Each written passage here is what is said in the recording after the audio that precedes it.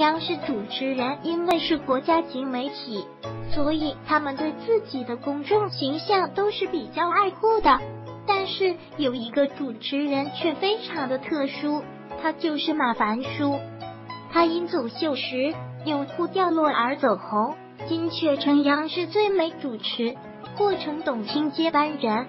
二零一二年，马凡舒以全国第九、黑龙江省第一的成绩考入中国传媒大学，同年签约了腾讯体育，从而成为了腾讯体育 NBA 节目的首位女主播。在十八岁的时候，参加海南国际旅游岛形象大使选拔秀，也就是在这次选秀中，马凡舒穿泳装走秀出现了意外。马凡舒穿着的粉色泳装裤，因为扣子没扣好掉了下来，而紧靠扣子扣着的粉色泳装裤随之滑落，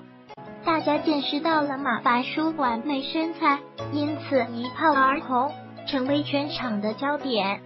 本以为他会很受影响，谁知事后马凡舒坦然表示没关系，谁爱看谁看。如今，她更是成为了央视最美女主持，主持豪门盛宴。目前在央